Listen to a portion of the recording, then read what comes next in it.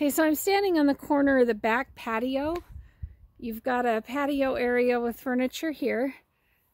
And all of this behind me is Trex, but I want to get you this.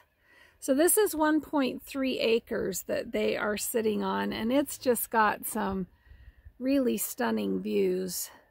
So we've got the lake down there, um, off in the distance, the Navajo Generating Station, which of course is going to be shutting down. And then even back this way, you've got, you know, state trust lands. It's just a really beautiful piece of land. So it is 1.3 acres. The house was built in 2005.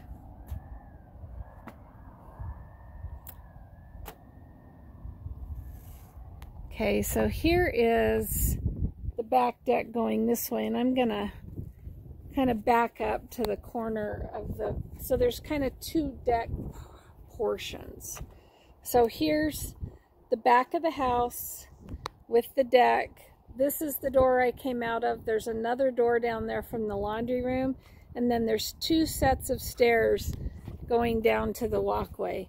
So this is the upgraded Trex. It's not wood. It should last basically a lifetime. We're going to come over and go down the second set of stairs. And we have the heat pump right there. And I just want you to get a look at these stairs. They're super nice with the Trex on them. And once again, before I get off the patio, there's just some pretty amazing views. That's Navajo Mountain. Okay, I'm going to take a quick walk down here. So the garage is 1,960 square feet and it's got a couple of different areas. You've got the area over here that I think I showed you pictures of, which is for the storage of the ATVs and things. And coming this way, this area is set up so that you can easily park a camper situation here. It's just wide enough to get a truck. And then you've got this level of brick right there for your, so you can climb in and out easy. Okay, so here's the driveway. There's my car. And here is inside the garage point one. This is their truck. I'm gonna take a walk see around it.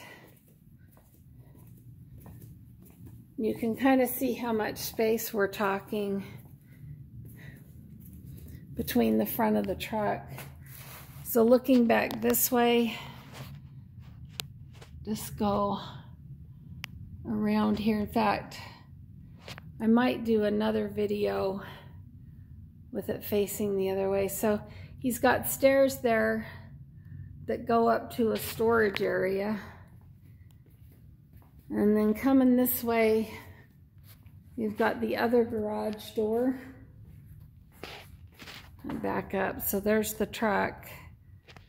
There's the other garage door rafters and then this is an office that he built.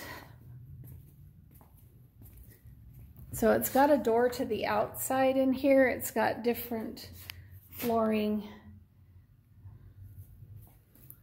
And we've got some shelving. But basically it's open to the outside, but there's lots of room for tools and storage. And then we've got a workbench over here. So that's the office. So coming back out, we've got the storage area here and up here. Back over to the wall of the truck. Garage doors. And I don't know if that other one's open. If it's not open, I'll go snag them and get it open because I'd like you to see the ATV side. I don't know what we got here.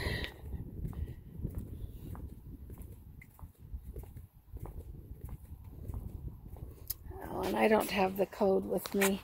Okay, let me go snag them and get that open. All right, there's the back of the house. Roof looks in great condition. Stucco is in super nice condition. Okay, there you go. Thank you.